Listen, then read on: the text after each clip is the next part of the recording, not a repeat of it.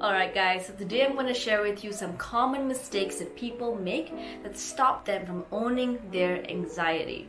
And as a result, they'll find that a lot of the efforts go to waste or that it takes 10 times longer to see the result and the improvement that they want to see. Now, if that experience sounds all too familiar to you when it comes to your journey with managing anxiety, then this video is for you. But before I jump right in and share with you the four mistakes, let me introduce myself for those who are new here. My name is Asha, and I work with introverted professionals who struggle with social anxiety, and I help them stop people pleasing, confidently express themselves, and find their natural assertiveness. Alright, so the first mistake is not having a clear and defined strategy. Now, this one is so important. We realize we have anxiety and we watch a ton of videos, we read a bunch of articles and books, and we learn so many tips and tricks and exercises and practices and how, uh, in order to learn how to manage our anxiety. But the problem is, we just kind of mix and match everything together and we kind of do the exercises that one person says or the practices that another one says when we feel like it, when we remember how to do it. And you can imagine how that is not very effective. I always tell people think of managing your anxiety like building muscle and going to the gym and getting fit. So let's say you do want to go and get fit. What's going to happen is you're going to watch a bunch of videos and read some books on how to actually, you know, do the exercise at the gym and have the proper diet. And imagine if what you're doing is you're kind of learning all the different diets out there and you're kind of mixing, making your own. And when you go to the gym when you remember to or when you're inspired to, and even when you're there, the exercise that you do are kind of all over the place and you do what you feel like in the moment. What's gonna happen is you might struggle to see a lot of improvement or worst case scenario, you make some mistakes and injure yourself and take a couple steps back. And that's very similar to when you're learning how to manage your anxiety. You can't just pick and choose all the different tips and tricks that you learn out there and sort of blend them all together and only do them whenever you feel like it and when you remember compared to having a clear and defined strategy that you follow. Because just like building muscle and getting fit, owning and managing your anxiety is a lot like building mental muscles. Which brings me to my second point, which is not having owning your anxiety be front of mind.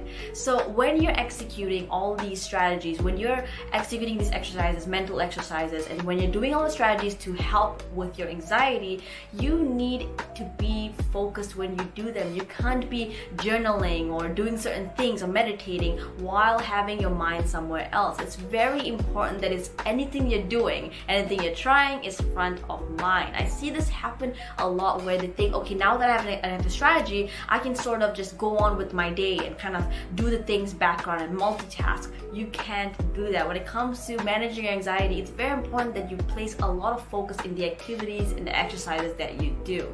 Now, the third mistake is wanting to never feel anxiety ever again. Now, I know this is a little bit counterintuitive, but here's the thing. Anytime someone who struggles with anxiety says, my goal is to never feel anxiety ever again you know to never feel insecure and to always feel confident no matter what.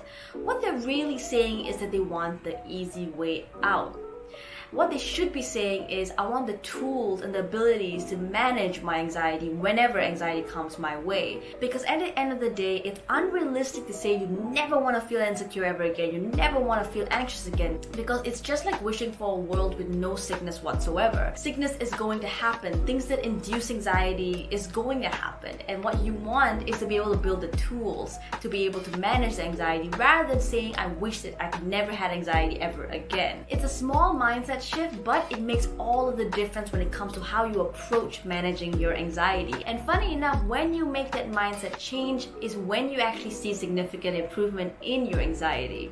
I actually made an Instagram story talking about this in a little more detail on Instagram. So if you'd like to check it out, you can check it out. I'll put the link to my Instagram in the description. And now let's move on to point four, which is separating anxiety from yourself. Often social anxiety can form due to negative narratives built in childhood combined with unhealthy emotional and cognitive patterns, which means that at the end of the day, even though social anxiety can look the same for a lot of us, it really does manifest from a very unique place. Which is why when working with clients, it's very important to figure out your inner wiring, work on introspection, and figure out a unique solution on how to overcome your specific social anxiety. When you separate social anxiety from yourself, what you end up thinking is that solutions that work for other people could work for you. You don't recognize how unique it is to you. So when you try those solutions and then they fail, you end up worrying and thinking maybe I can never be fixed. Maybe this is just something that's gonna be permanent. But that's not the case. The problem is you think that social anxiety is the same for everyone. However, it manifests from a core place that's unique to you and you got to figure that out. Alright, so let me recap all the four points. The first one is not having a clear and defined strategy. The second one is not having owning your anxiety be front of mind. The third one is to wish to never have anxiety ever again. And the last one is to separate anxiety from yourself. Now, I hope this video has been useful for you guys, and as per usual, for any one of you guys who are struggling with social anxiety and you've made some improvements, but you feel like there's so much more improvement you can make, but you don't know how, feel free to book a strategy call with me. I'll leave the link in the description. And one more thing, if you like the videos, turn the notification bell on so that you get notified whenever I upload a new video. I'll talk to you guys soon.